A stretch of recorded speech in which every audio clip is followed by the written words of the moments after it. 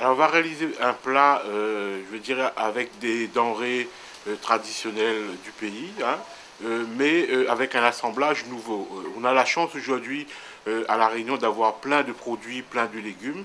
C'est vrai que dans la cuisine traditionnelle, on a des habitudes de mélanger tel ou tel légume, mais on peut aussi, l'aménager d'aujourd'hui, ou n'importe quel cuisinier peut aussi, à loisir, changer la combinaison et de trouver d'autres applications euh, à des plats plus traditionnels. Donc aujourd'hui, on va réaliser de la saucisse fumée avec des voèmes et des braies de chou. Alors les voèmes, donc, ça fait partie donc, des légumineuses, ce qu'on appelle les grains verts.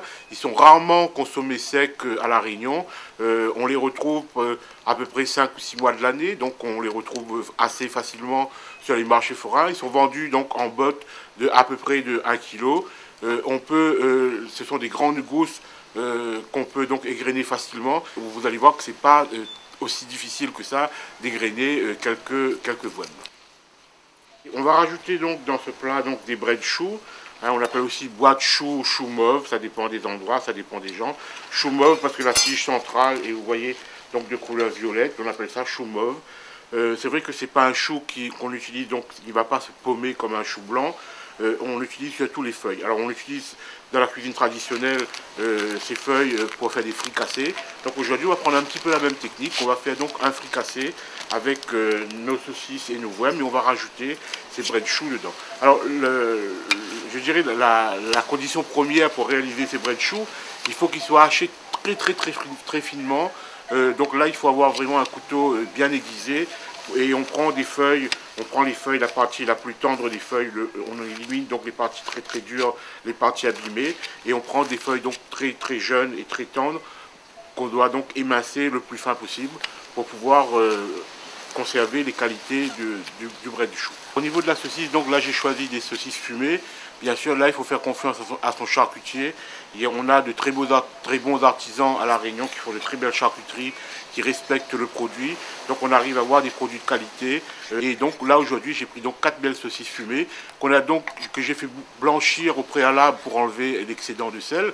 Et ensuite donc découpées en grandes lanières, en grandes tranches euh, dans le sens du biais environ des tranches de 1,5 cm environ. La particularité de, ce, plat aujourd'hui, euh, bien sûr, euh, on, le réalise avec des oignons, euh, sauf bah, quand, la saison nous permet ou quand le marché nous le permet. des échalotes, ça va donner donc un goût, un goût un peu plus doux à ce plat et bien sûr des oignons coupés dans le sens de la circonférence. Donc on va faire des petits bracelets d'échalotes, ce qui va donner un autre cachet à la préparation. On va démarrer rapidement un rissolage très très léger de la saucisse avec euh, un peu de matière grasse. Ensuite on rajoute les échalotes, on va laisser roussir légèrement. Et on va rajouter donc bien sûr l'assaisonnement. Alors comme ce sont des saucisses fumées, on ne mettra pas du sel au départ. On vérifiera à la fin de la cuisson s'il faut rajouter ou non. Donc là j'ai mis que du poivre, une branche de thym, un petit peu d'ail. Et là une petite particularité de la recette, j'ai rajouté donc une petite pointe de gingembre. Et on va continuer dans la foulée, pareil que pour un curry ou pour une autre préparation, en rajoutant de la tomate, de la tomate et euh, bien sûr après on va cuisiner ces grains dans la tomate. Alors on peut réaliser ce plat avec du curcuma ou sans curcuma. Aujourd'hui donc je vais réaliser sans curcuma et je vais faire donc à la tomate. Dès que la tomate est, est cuite, donc on rajoute donc les grains verts. Euh, même s'ils sont verts, ils vont demander quand même un certain temps de cuisson. Donc c'est pour ça que je les mets au départ, euh, juste avant ou pendant le, mouillement. Et, donc, et je verse de l'eau donc à peu près à hauteur des morceaux.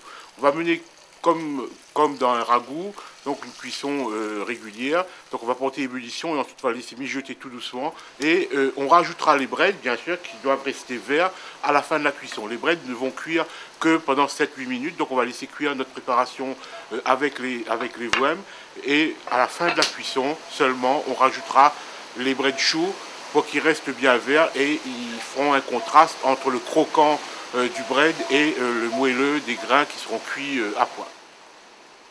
Donc les grains sont, bien cuits, hein, on les écrase légèrement à l'aide d'une cuillère, dès que ça s'écrase facilement, donc ça veut dire qu'ils sont cuits. À ce moment-là, on rajoute donc les breads. On rajoute donc les breads en remuant, surtout ne pas rajouter de, de, mouillement.